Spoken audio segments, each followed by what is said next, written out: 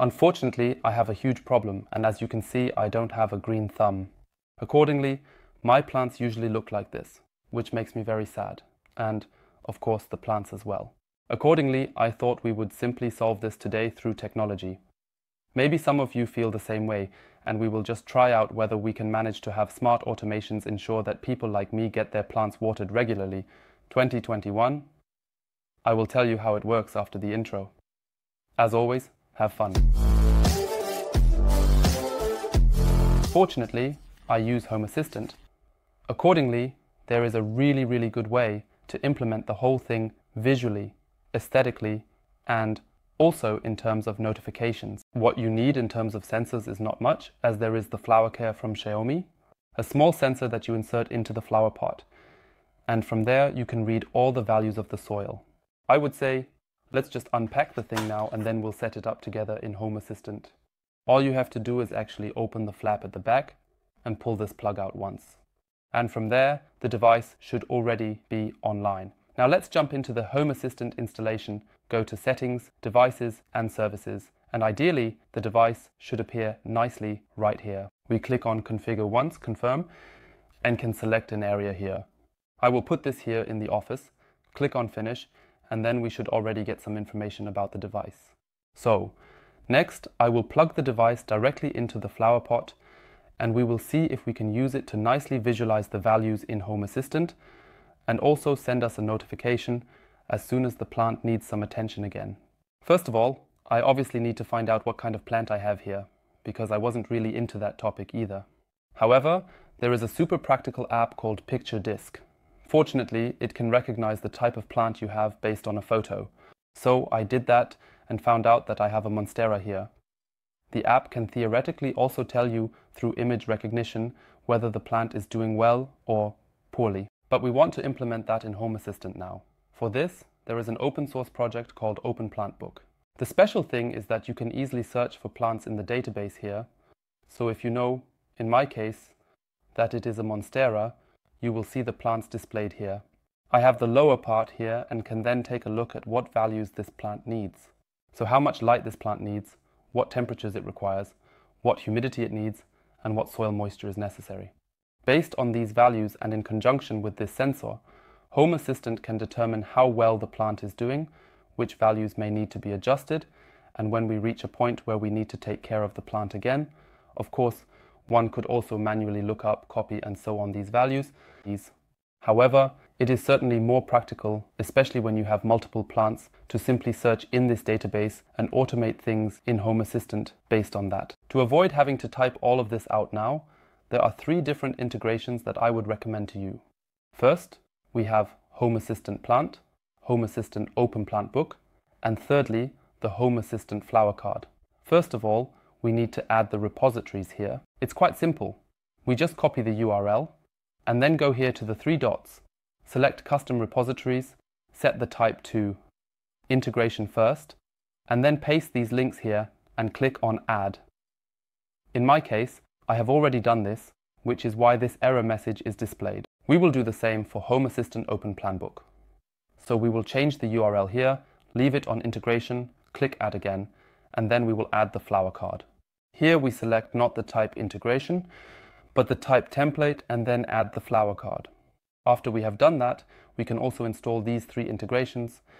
They should now appear in the search by going here to the flower card.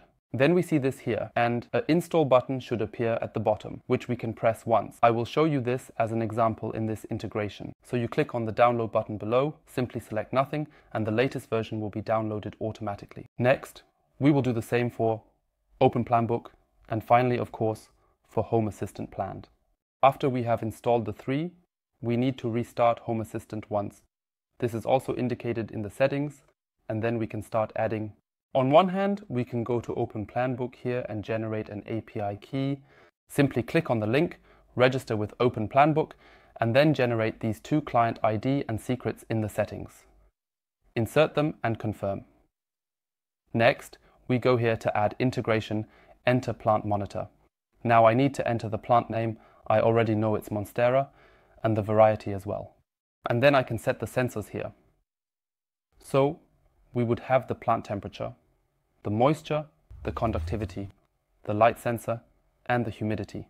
This sensor doesn't include that, but I could simply take the humidity from my heaters, for example. So, after I have selected all of this, I click on Confirm. Now he automatically searches for the available varieties in Open Plant Book. So I select the right one, and now it automatically pulls all the values from Open Plant Book, which I could have theoretically written down, but this way we have it automated here, just like with a preview image of the whole thing. Now I can click on Confirm here, select an area 2001, if I press finish here, I can also go directly into the plant monitor, see my plant here, and then also the corresponding sensors. It will take a moment here until he has pulled the statistics, but after a few seconds we will see the values displayed directly here, and we can also see that there is currently a problem with the plant. And to have it displayed in a visually appealing way, we can create our own dashboard here. To do this, we go to the settings, then to dashboards, and then I click on create dashboard, new dashboard, and simply name it flower. And then we go into the dashboard here, click on the edit icon, add a card, and can now search for the newly added card, Flower Care.